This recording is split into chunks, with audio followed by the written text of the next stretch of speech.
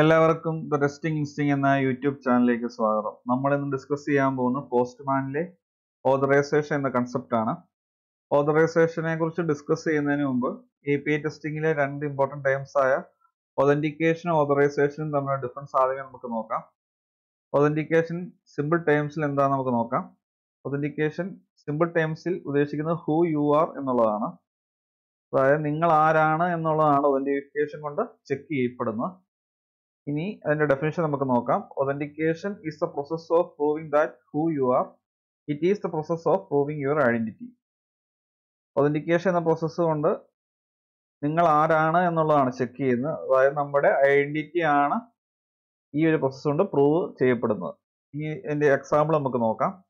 An employee can enter the office if their identity is verified using an I D card റെയിൽവേയുടെ example ആയിട്ട് പറയുവാണെങ്കിൽ ഒരു കമ്പനിയിൽ ഒരു എംപ്ലോയിക്ക് എന്റർ ചെയ്യണമെന്നുണ്ടെങ്കിൽ മെഷീനിൽ ആ എംപ്ലോയി അദ്ദേഹത്തിന്റെ ഐ ഡി കാർഡ് യൂസ് ചെയ്ത് വെരിഫൈ ചെയ്തെങ്കിൽ മാത്രമേ ഓഫീസിലേക്ക് പ്രവേശിക്കാൻ സാധിക്കുള്ളൂ. അപ്പം അതാണ് ഒതന്റിക്കേഷന്റെ റെയിൽവേയുടെ എക്സാമ്പിൾ ഇനി ഓതറൈസേഷൻ സിമ്പിൾ ടേംസ് എന്താ നമുക്ക് നോക്കാം. വാട്ട് യു ക്യാൻ ഡു നിങ്ങൾക്ക് എന്തൊക്കെ ചെയ്യാൻ സാധിക്കും എന്നുള്ളതാണ് ഓതറൈസേഷൻ കൊണ്ട് ഉദ്ദേശിക്കുന്നത്. അതിന്റെ ഡെഫിനേഷൻ നമുക്ക് നോക്കാം. Authorization is the process of determining what actions you are allowed to make based on your identity and permissions authorization എന്ന് പറയുന്നത് എന്തൊക്കെ ആക്ഷൻസ് ചെയ്യാൻ സാധിക്കും എന്നുള്ളതാണ് ചെക്ക് ചെയ്യുന്നത്. അതായത് നിങ്ങളുടെ ഐഡന്റിറ്റിയുടെയും പെർമിഷന്റെയും അടിസ്ഥാനത്തിൽ എന്തൊക്കെ ആക്ഷൻസ് ഒരു യൂസർക്ക് ചെയ്യാൻ സാധിക്കും എന്നുള്ളത് ചെക്ക് ചെയ്യുന്ന പ്രോസസ്സിനാണ് ഓതറൈസേഷൻ എന്ന് പറയുന്നത്. ഇനി നമുക്ക് എക്സാമ്പിൾ നോക്കാം. An employee may be allowed office using I D card but may not be allowed into the server room അതായത് എംപ്ലോയിക്ക് ഓഫീസിലേക്ക് കയറാൻ ഐ ഡി കാർഡ് യൂസ് ചെയ്ത് കയറാൻ സാധിക്കും. പക്ഷേ ആ ഒരു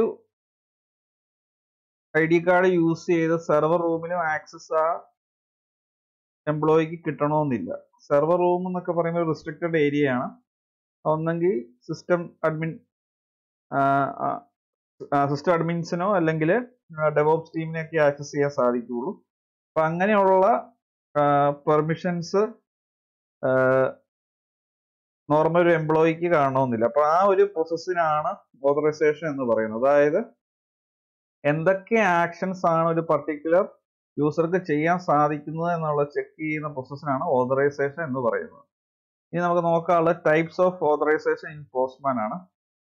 ഫസ്റ്റ് വൺ നോത്ത് അതായത് ഓതറൈസേഷൻ ഒന്നും പ്രൊവൈഡ് ചെയ്യാതെ എ പി ഐ ആക്സസ് ചെയ്യുന്നതിനാണ്. പിന്നെ ഉള്ളത് A P I key through ആയിട്ടുള്ള ഓതറൈസേഷൻ പിന്നെ bearer token J W T bearer basic registration O one point zero O two point zero talk authentication A W signature N D L M authentication Akamai edge ഇത്രയും authorisation ആണ് പോസ്റ്റ്മാനിൽ available ആയിട്ടുള്ളത്.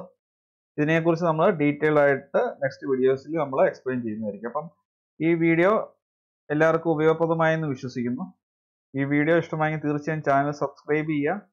Video like ചെയ്യുക share ചെയ്യുക. അതുപോലെ doubts ഉണ്ടെങ്കിൽ തീർച്ചയായും comment ബോക്സിൽ ചോദിക്കുക. നോട്ടിഫിക്കേഷൻ ബെല്ലൈക്കും കൂടി എനേബിൾ ചെയ്തേക്കുക എങ്കിൽ മാത്രമേ പുതിയ വീഡിയോസ് അപ്ലോഡ് ചെയ്യുമ്പോൾ കറസ്പോണ്ടിങ് നോട്ടിഫിക്കേഷൻ നിങ്ങൾക്ക് ലഭിക്കുകയുള്ളൂ. Thanks for watching and keep learning